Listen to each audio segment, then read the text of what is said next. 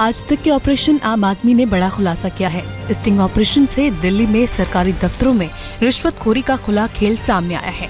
दिल्ली जल बोर्ड के water analyst Vinod Kumar रिश्वत लेते हुए खुफिया कैमरे में कैद हो गए। दिल्ली में रजिस्ट्री ऑफ़िस, आरटीओ और सेल्स टैक्स में भी रिश्वतखोरी का खुलासा हुआ है। इन जगहों पर आम आदमी घूस देने पर मजबूर है। आज तक के ऑपरेशन आम आदमी के कैमरे में दिल्ली के सरकारी दफ्तरों में काम करने वाले पाँच ऐसे लोग कैद हुए, जिन्होंने पैसों के बदले काम कराने का वादा किया। इनमें दिल्ली जल बोर्ड के अधिकारी विनोद कुमार, रजिस्ट्री ऑफ़िस के पटवारी Sunil Kumar, meter reader Atul Prakash, sales tax विभाग के डाटा ऑपरेटर और आरटीओ दफ्तर के एजेंट राकेश सिंह शामिल हैं। ऑपरेशन आम आदमी का तुरंत असर हुआ। तत्काल प्रभाव से वाटर एनालिस्ट विनोद कुमार, पटवारी सुनील कुमार और मीटर रीडर अतुल प्रकाश को निलंबित कर दिया गया है। हालाँकि बाकी दो आरोपियों के खिलाफ अभी कोई कार्रवाई नहीं हुई। इसी दौरान दिल्ली जल बोर्ड के 800 कर्मचारियों का तबादला भी कर दिया गया है। वहीं नॉर्थ एमसीडी ने भी 1500 बेलदारों के ट्रांसफ़र के आदेश जारी कर दिए हैं। दिल्ली के मुख्यमंत्री अरविंद केजरीवाल ने भी आज तक को संदेश भेजकर शुक्रिया कहा है। स्टिंग ऑपरेशन आम आदमी के लिए आज तक का शुक्रिया। गुनेगारों के खिलाफ मंगलवार को प्रभावी और कड़ा एक्शन लिया जाएगा। केजरी सरकार ने फिर कहा है कि एक भी भ्रष्टाचारी को नहीं बख्शा जाएगा। तुरंत एक्शन लिया है सरकार ने। जैसे ही हम लोग घर पहुँचे हैं मैंने देखा, पाँच मिनट मैंने फुटेज देखी और उसके तुरंत बाद हमने एक्शन लिया है। मैंने ऑर्डर्स किए हैं कि जो लोग हैं, उनको सस्पेंड किया जाए। उधर से केजरीवाल जी ने पूरे ऑर्डर किए हैं कि सख्ती से निपटा जाए। इसके अलावा भी कहीं कोई और कर्मचारी भी इस तरह की हरकत करते हुए पाया जाएगा तो बख्शेंगे नहीं उसको।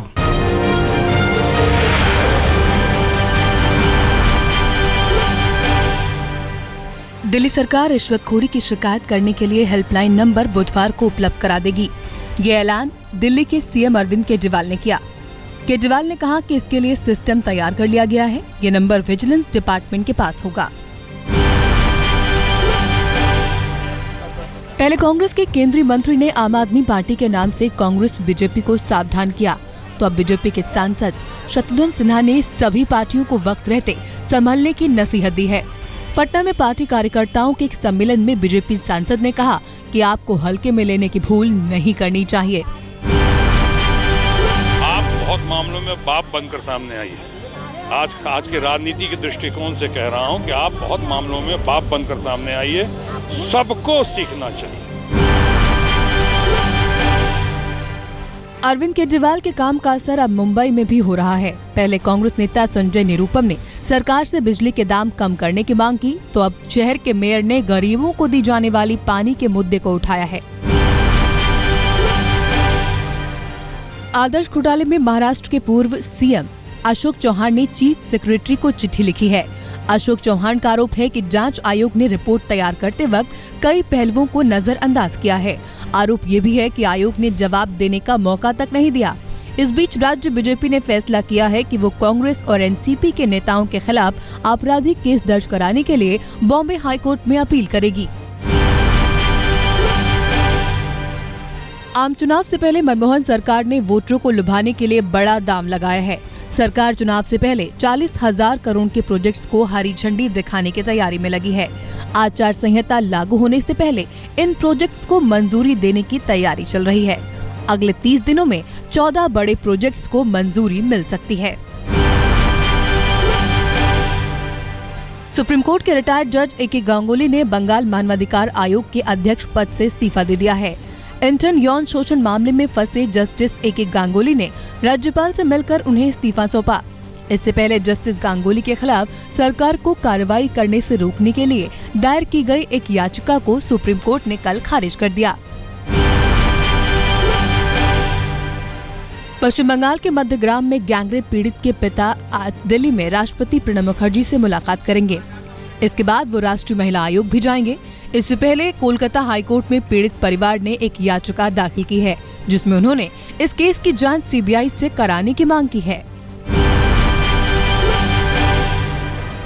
बिहार के मुख्यमंत्री नीतीश कुमार ने पश्चिम बंगाल सरकार के इस आरोप को खारिज किया है कि उन्होंने राज्य की व्यवस्था में कोई हस्तक्षेप किया है।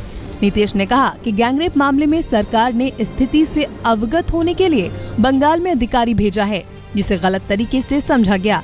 उन्होंने कहा कि हमने सहायता भेजी है, न कि पश्चिम बंगाल सरकार के भावनाओं को ठेस पहुँचाया है। पटना हाईकोर्ट ने 1 जनवरी से बिहार में बालू के खनन पर रोक लगा दी है, जिससे पूरे राज्य में निर्माण कार्य बंद होने की कगार पर है। विपक्ष इसके लिए राज्य सरकार को दोषी मान रहा है, लेकिन सरकार का कहना है कि जल्दी इस मामले को सुलझा लिया जाएगा। जासूसी कांड में नरेंद्र मोदी की मुश्किलें बढ़ सकती हैं। इस मामले में निलंबित आईएएस प्रदीप शर्मा गांधीनगर थाने में मोदी के खिलाफ एफआईआर दर्ज कराने पहुँच गए। हालाँकि पुलिस ने एफआईआर दर्ज नहीं की। प्रदीप शर्मा अब कोर्ट जाने की तैयारी में है।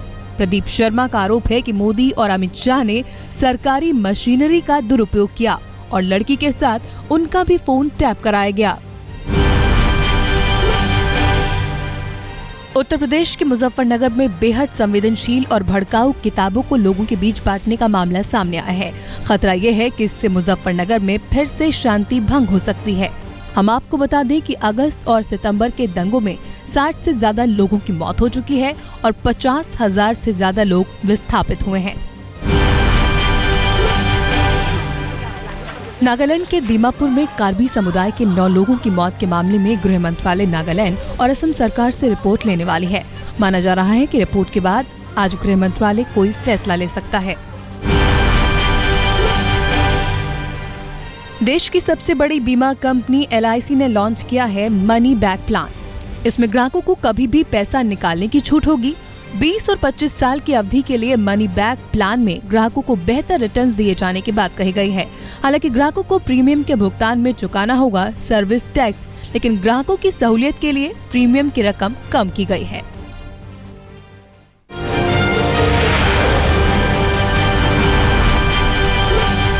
पाकिस्तान के पूर्व विदेश सचिव शहरियार खान ने कहा है कि भारत के प्रधानमंत्री मनमोहन सिंह को पाकिस्तान आना चाहिए। आज तक से बातचीत में उन्होंने कहा कि पाकिस्तान मनमोहन सिंह और भारत की चिंताओं से वाकिफ है और इसे दूर करने की कोशिश कर रहा है। शहरियार खान ने यह भी कहा कि पाकिस्तान में भारत में पाँच मैचों की सीरीज़ खेलना चाहता है। पूरा उत्तर भारत अभी भी कड़ाके की ठंड से बेहाल है। जम्मू कश्मीर से लेकर हिमाचल प्रदेश और उत्तराखंड के पहाड़ों पर बर्फ़ गिर रही है। हरियाणा के हिसार में सोमवार को न्यूनतम तापमान माइनस दो दशमलव एक डिग्री सेल्सियस रिकॉर्ड किया गया। श्रीनगर, गुलमर्ग और पहलगाम में पारा लगातार माइनस में है। उत्तराखंड के अल्मोड़ा में न्यूनतम तापमान शून्य दशमलव दो डिग्री सेल्सियस तक गिर गया। राजधानी दिल्ली भी ठंड और कोहरे की मार से परेशान है। तापमान में कमी और कोहरे की वजह से रेल सेवा और हवाई यातायात पर बड़े पैमाने पर असर हो रहा है। कई ट्रेनें घंटों की देरी से चल रही हैं, जबकि दर्जनों फ्लाइट्स कैंसिल हो रही हैं। मुंबई में एक लग्जरी कार कंपनी के कार्यक्रम में अभिनेता सलमान खान शरीक हुए। उन्होंने अपने लिए कार भी खरीदी और साथ में नसीहत भी दी कि सड़क पर किसी को भी गाड़ी सावधानी से और संभल कर चलानी चाहिए। आज मुंबई के सेशन कोर्ट में सलमान खान से जुड़े 11 साल पुराने हिट एंड रन मामले की सुनवाई शुरू होगी। सलमान ने इस केस का ट्रायल फिर से शुरू करने की मांग करते हुए कहा था कि इस मामले के सभी गवाह और सबूत को फिर से कोर्ट के सामने पेश किया जाना चाहिए। सलमान पर आरोप है कि 28 सितंबर 2002 की रात उन्होंने बांद्रा में फुटपाथ पर सो रहे पाँच लोगों को कुचल दिया था, जिसमें से एक की मौत हो गई थी। कश्मीर में सेना की तैनाती पर आम आदमी पार्टी के नेता प्रशांत भूषण के बयान पर बवाल बढ़ता ही जा रहा है। तमाम विरोधी पार्टियों ने प्रशांत भूषण के बयान की निंदा की है। मध्य प्रदेश के मुख्यमंत्री शिवराज सिंह चौहान ने कहा कि प्रशांत भूषण देश के साथ गद्दारी कर रहे हैं। हालाँकि बयान पर मचे बवाल के बाद प्रशांत भूषण ने अपनी सफ़ाई में कहा है कि मेरे बयान को गलत तरीके से पेश किया गया है।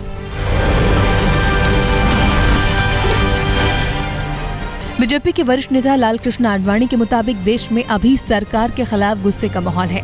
आडवाणी को इस बार लोकसभा चुनावों में बेहतर नतीजे की आस है। आडवाणी ने कहा कि कांग्रेस दल सालों से नो बॉल फेंकती आ रही है। इस बार हम छक्का मारेंगे।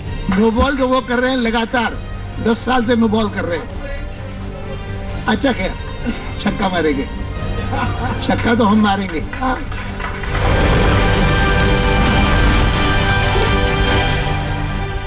दिल्ली में आम आदमी पार्टी से सीख लेते हुए बीजेपी 14 जनवरी से एक नोट, एक वोट कैंपेन की शुरुआत करने वाली है। इस कैंपेन की वजह से बीजेपी की कोशिश एक करोड़ घरों तक पहुँचने की है।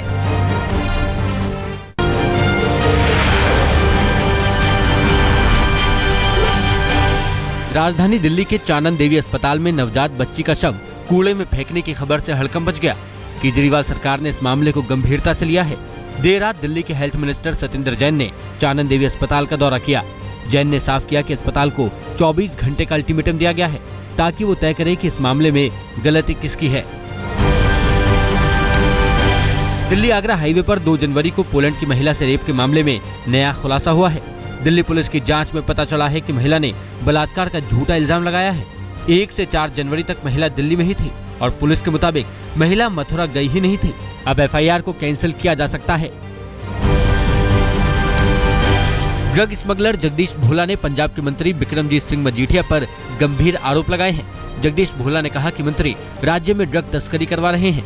मोहाली कोर्ट में पेश होने के दौरान जगदीश भोला ने ये आरोप लगाए। पंजाब पुलिस ने भोला को गिरफ़्तार कर 700 करोड़ के ड्रग रैकेट के पर्दाफाश का दावा किया था। पटियाला जेल में चेकिंग के दौरान जेल अधिकारी पर कैदियों ने लोहे की रॉड से हमला कर दिया। इस हमले में सात पुलिसकर्मी जख्मी हुए हैं। जेल अधिकारियों का कहना है कि चेकिंग के दौरान कैदियों के पास से एक मोबाइल की बैटरी मिली, जिसके बाद कैदियों ने हंगामा शुरू कर दिया। झारखंड के पलामू में एक सिरफिरे आशिक ने एक 20 साल की युवती पर जानलेवा हमला कर दिया।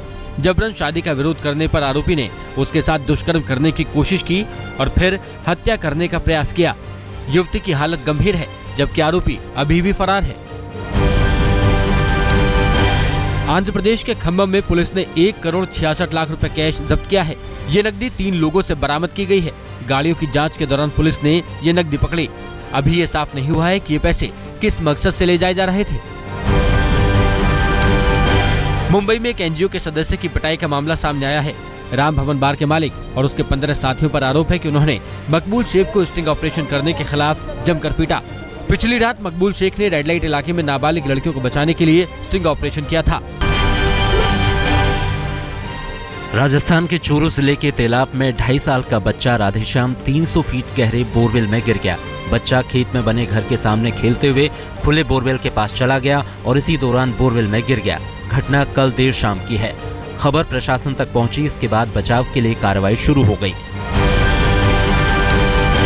हरियाणा में कद्दावर नेता और विधानसभा स्पीकर कुलदीप शर्मा पर एग्जीक्यूटिव मजिस्ट्रेट के अपहरण का संगीन आरोप लगा है। यमुनानगर में नायब तहसीलदार के पद पर कार्यरत एग्जीक्यूटिव मजिस्ट्रेट आनंद रावल पिछले चार दिनों से लापता हैं। गुस्से में आग बबूला परिजनों और सैकड़ों लोगों ने तहसील कार्यालय पर जोरदार हंगामा कर वहाँ जबरन ताला चढ़ दिया।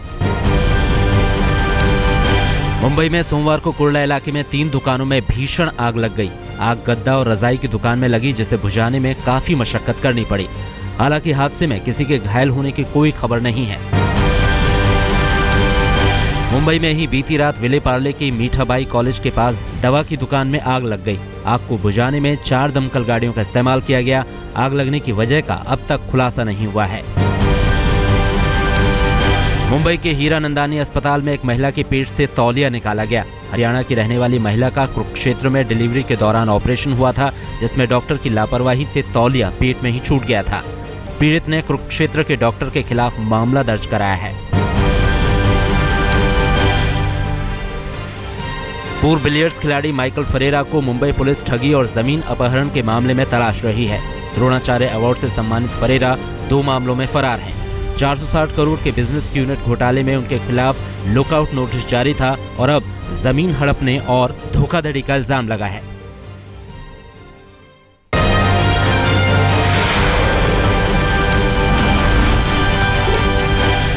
दक्षिण अफ्रीका में मिली करारी हार पर भारत में पहुँचने के बाद पहली बार टीम इंडिया के कप्तान महेंद्र सिंह धोनी ने टीम के प्रदर्शन के बारे में जुबा खोली। धोनी ने बचाव करते हुए कहा कि युवा खिलाड़ियों का प्रदर्शन बेहतर था। हालाँकि मज़ाक में ये भी कहा कि आलोचकों को गोली मारें क्या? शारजा में अंडर 19 एशिया कप में पाकिस्तान को हराने के बाद घर लौट आई है अंडर 19 भारतीय टीम। टीम के कप्तान विजय जोल ने कहा, इस जीत से वर्ल्ड कप की तैयारियों को और ताकत और रफ्तार मिलेगी। फाइनल में टीम इंडिया ने पाकिस्तानी टीम को 40 रनों से हराया था।